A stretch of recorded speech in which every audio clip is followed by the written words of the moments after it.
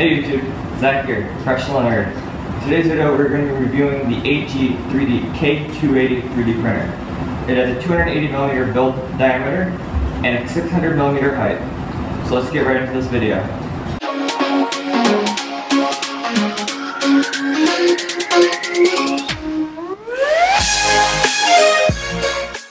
Okay, let's get right into this review.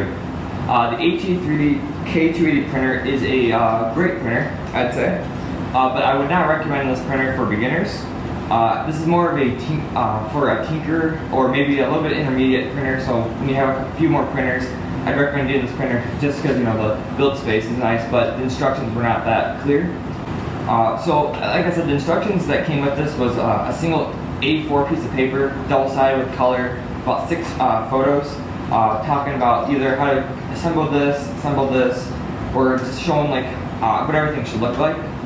Uh, you know, with a little bit of ingenuity and uh, knowing how to build a Delta printer like I had the BQ Kossel Plus, I was able to actually complete this printer and get some fairly decent looking prints raw right off the bat.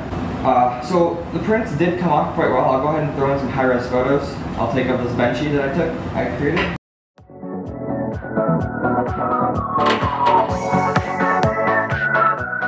Uh, I also do have a really tall rocket that I printed uh, using most of the build space. I'll take a picture of that to show that, uh, the build space.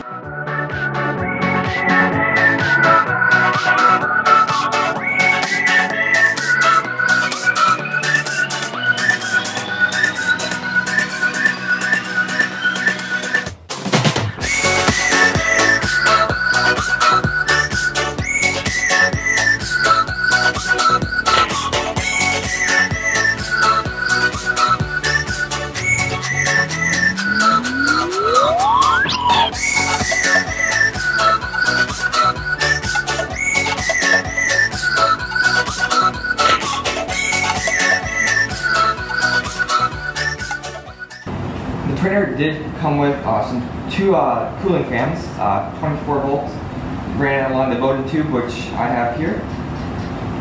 Uh, these did not come with it. The, the bottom two were created uh, by HE3D, uh, designed by them. these were actually from the Facebook group, which I'll go ahead and link down below also.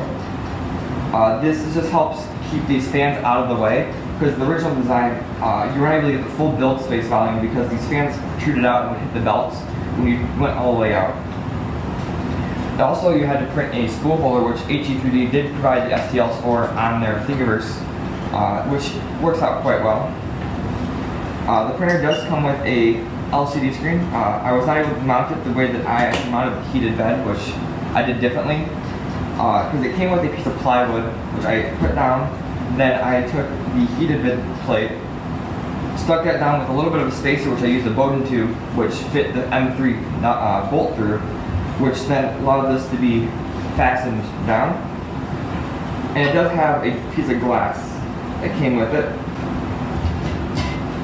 which I'm using the silicon uh, thermal pad to stick it down, which gives it a good stick as you just saw. And that just gets set down right there, and it doesn't move around. Uh, so this does not have linear rails, but it does have the linear guides pulleys all the way around, which is then connected with these belts. Uh, one thing I'd like to note, in the build I forgot to do this, uh, there is actually one side of these is a concentric, or it's like an offset uh, nut, which you can tighten with a uh, wrench. And it allows this to be super tight, and it doesn't wiggle around on the uprights, which I was a problem I originally had with the printer when I was first trying to print with it. So let's go into some of the uh, pros of this uh, printer. So the nice pro of this is the really large build space of 280 by 600 high that allows uh, for a new dynamic of your printing uh, capabilities with some super tall prints. Um, another pro of this printer, I'd say, is the 24 volt system. So it does have a 24 volt uh, power supply, and that allows for some super quick uh, heat up times so I'm able to get this heated bed plate to 60 degrees C in roughly two to three minutes, which is super helpful and nice. Uh, hot end heats up quite quick also. Um, another pro of this printer I'd say is the $400 uh, price. It's roughly $400 US, uh, which is very good for a, such a tall printer that has aluminum extrusion and has a printer, uh, a nice build plate. One of the cons of this printer, I'd say, would be the actual height though. So it does need a little bit of cross bracing, as you can see, it wiggles a lot. So when you're moving quite fast like a Delta would, you're actually going to lose a little bit of build quality, which I can, I'll show you on the bench a little bit towards the top where it, had to move quickly across and have for the, uh, the actual arcing part. Because when a printer moves, it was shaking quite a bit, but that's a super simple fix with some cross bracing, which I am going to try using um, some 5 millimeter or 8 mil uh, threaded rod with some 3D printed mounts that will go on and just make sure everything stays together. And I guess another one of the cons, like I talked about earlier, would be the actual instructions. Since the instructions were uh, left up to interpretation with only a single sheet of paper, it kind of made it a little bit hard to actually build this printer because I definitely did have quite a few extra parts that I didn't really know where they went. But as you can see, I got the printer built and working and looking nice. So overall, I would recommend this printer uh, to anyone that's uh, intermediate or really likes to tinker around with 3D uh, printers. Uh, the build space is really nice. Uh, a few things that I am going to be trying to upgrade in the near future is I'm going to be trying getting a different extruder which allowed me to print with flexible filament through the Bowden tube, which should be like the Voron uh, extruder. I also have new step motor drivers I'm going to be installing, which is the TMC 2100 step motor drivers, which should allow for some quieter printing, since this does uh, support, or have currently the A4988 step drivers.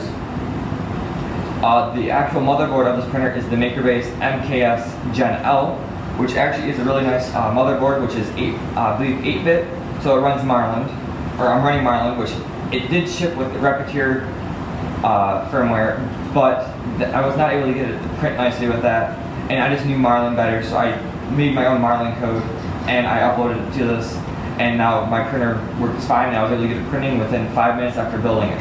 Um, another upgrade I'm going to try doing in the near future is I'm going to be taking, uh, replacing this with a TFT 3.2 inch uh, uh, touchscreen, which will be super nice and useful. And currently I've just been printing everything with the SD card that came with it, which is super uh, helpful, so you don't need to have it connected to your printer. Uh, something I did forget to mention is it does have auto bed leveling, so you just attach the uh, foam probe to the bottom of the nozzle, like that, and you'll go ahead and click auto leveling within Marlin or whatever software you're using, and it'll just go around and probe and figure out your uh, bed leveling. Okay, thanks for watching. Please like, comment, and subscribe. And please look into buying this printer if you are interested.